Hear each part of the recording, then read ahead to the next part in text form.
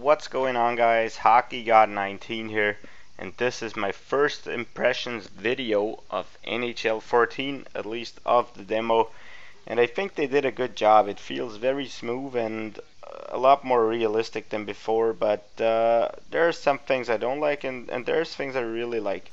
Uh, I really appreciate the one-touch dekes. I mean, it's it's something new, it's innovative, and that's what I like about it. I, I wouldn't say it's much more effective than before, but uh, I just like the idea. Uh, on the other side, but uh, we got that uh, enforcer engine now and all of that stuff. The point is, I don't like it.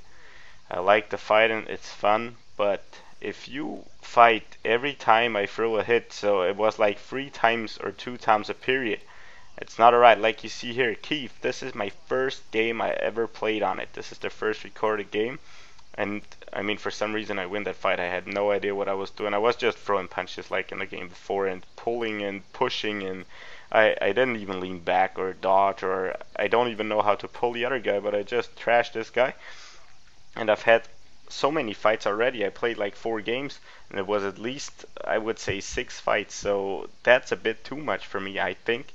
And on and what I also think is, look at that. I threw a hit on Iginla. Shouldn't there be an instigator penalty on Boychuk because I never was on a power play after that?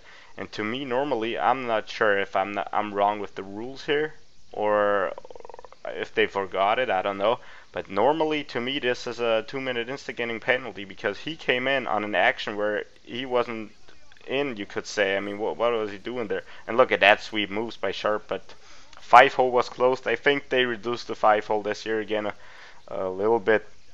Haven't scored five hole so far, but uh, it's still possible. I see a lot of openings like there. Bergeron gets it right away. I didn't even score in the first game. This is what's kind of, yeah, I mean, yeah, look at that. I mean, sure, you can't do it, but the other guy comes in. I should have gotten a penalty there for sure. But the other guy should have gotten an instigator as well. And then Shaw came in, so he should have gotten an instigator. Uh, all in all, the Bruins should have been on a power play here.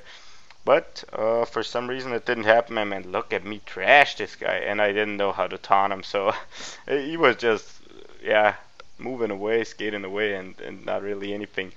But uh, yeah, still the same shitty goal horns in there. But I really like the game so far. It's it's very smooth, and, and they fixed a lot of things, and you can blast pucks on net and uh, I really like it so far. Even though I had problems with downloading it I hope you guys enjoy it as well. Leave me your impressions down in the comments please. Like this video if you think this is helpful or if you think uh, you're you you do have the same opinion or something because let me know what you think about it. Uh, I'm gonna keep posting videos all night long because it's already 1 a.m. here and normal people go to sleep, but I'm not normal actually, and you guys know that. So yeah, I hope you enjoy this and have a good one. Till later, bye. Keep an eye on that clock, running out of time now, third period.